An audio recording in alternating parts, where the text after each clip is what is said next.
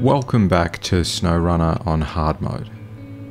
At the end of the last episode, we completed the drilling parts delivery contract. While we're in this area of the map, we can start picking up items for the Port Polar Base supply contract.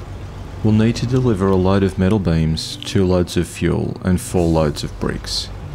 We can pick up the bricks from the warehouse nearby. We could have picked up the metal beams from the factory we just left, but the polar base is not far from the other factory which stocks metal beams, so it would be more efficient to pick them up last.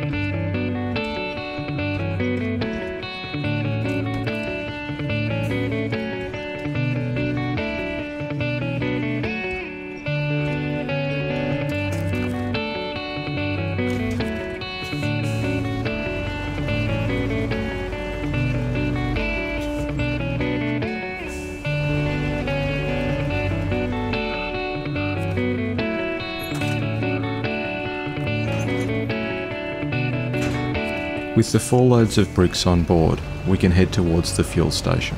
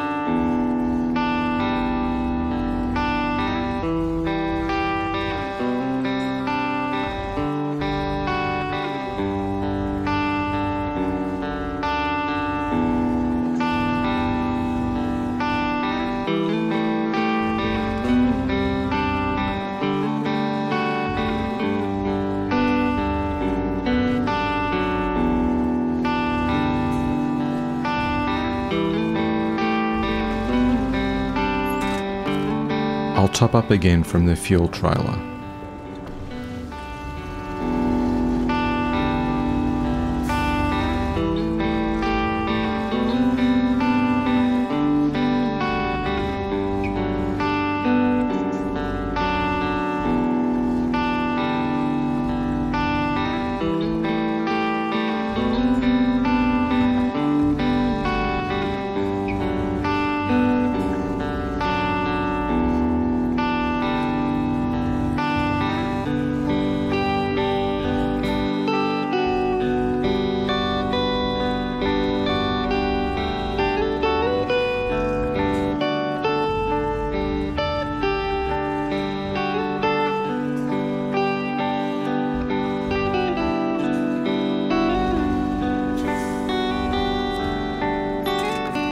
We'll need to disconnect the semi-trailer so we can activate the loading zone.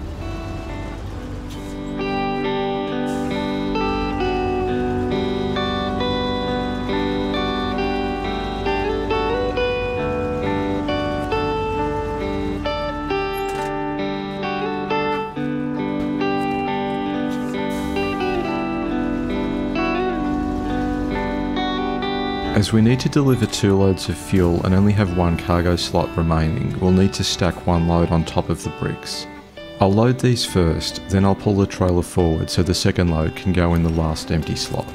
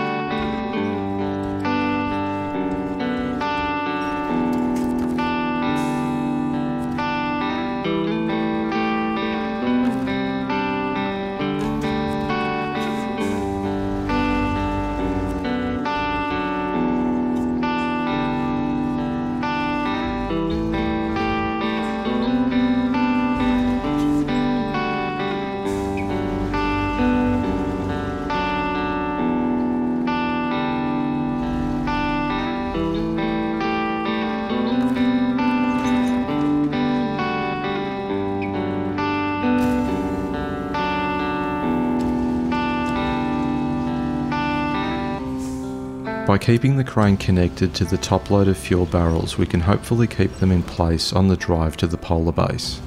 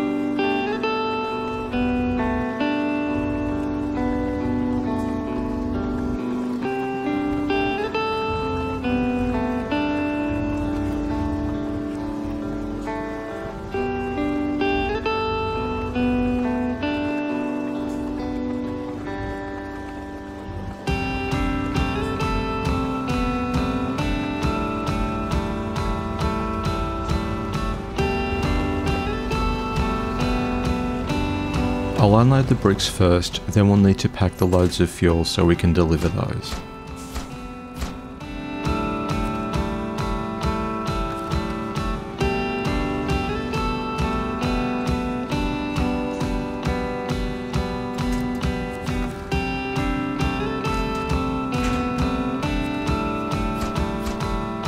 Now we just need to pick up a single load of metal beams from the factory.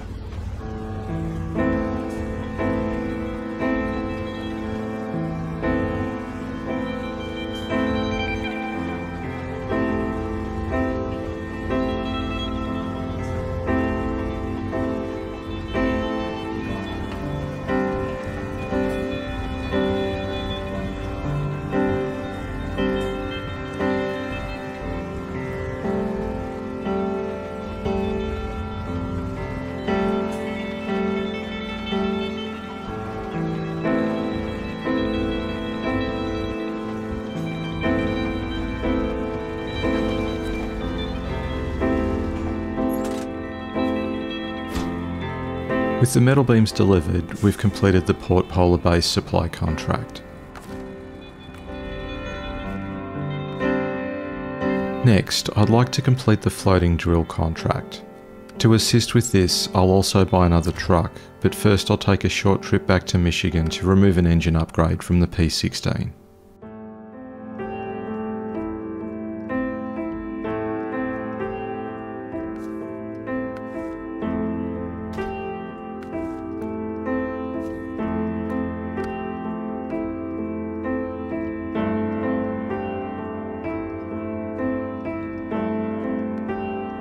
The truck I'll be purchasing is the Pacific P12, which will put a hefty dent in our bank balance.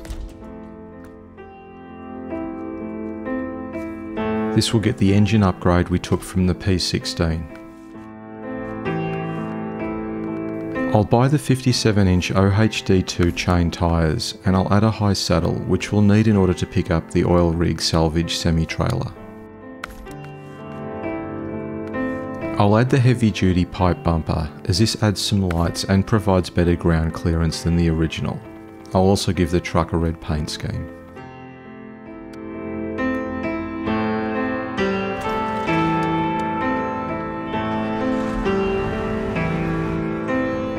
I opted to go with the dually chain tyres over the singles as the wider rear footprint seems to aid stability.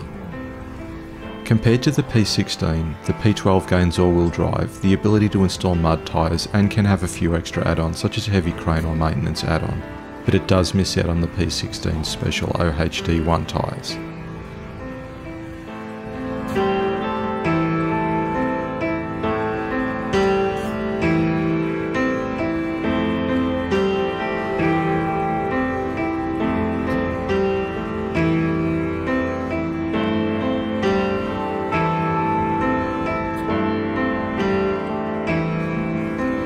Despite being very capable, the P12 will still slow down to a crawl getting through this mud section on its own.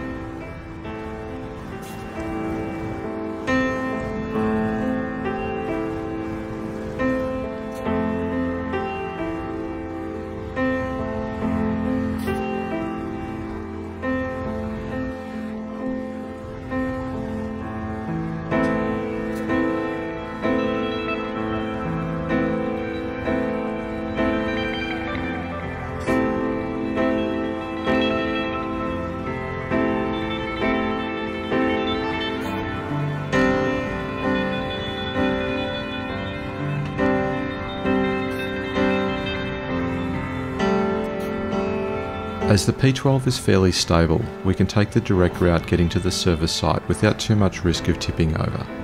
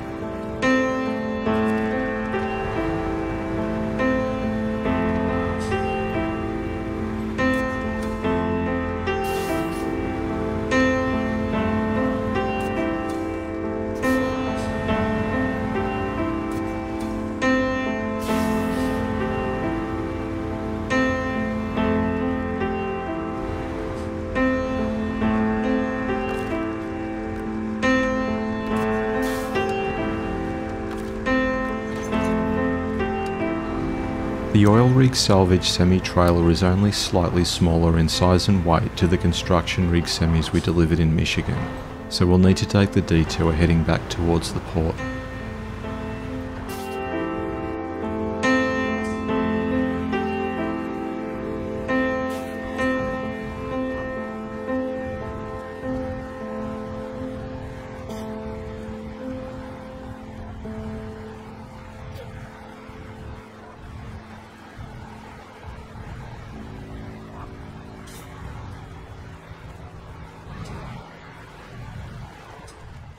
Mm-hmm.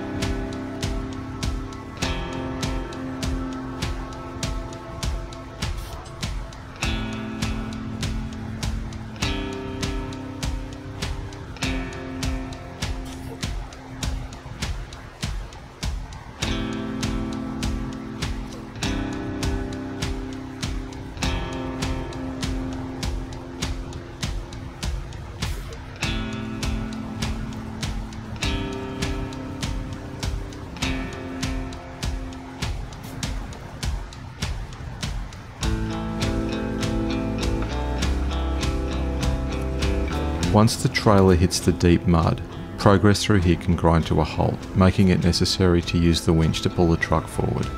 This is why it's definitely worthwhile sticking close to the edges here.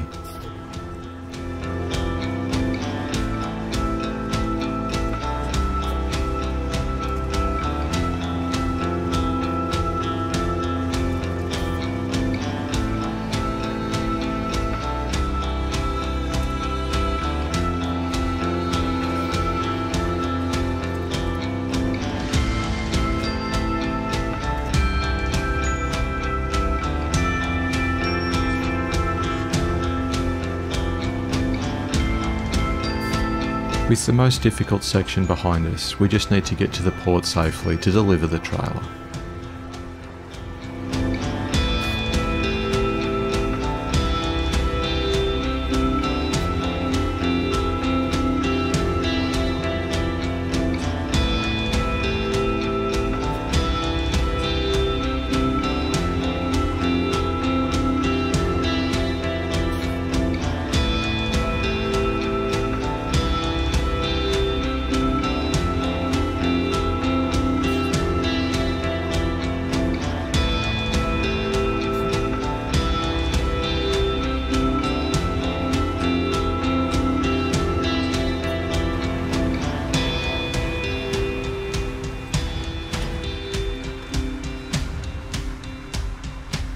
With that contract complete, we can now complete contracts to build the pipeline and open a road in Mountain River, but I'll save that for the next episode.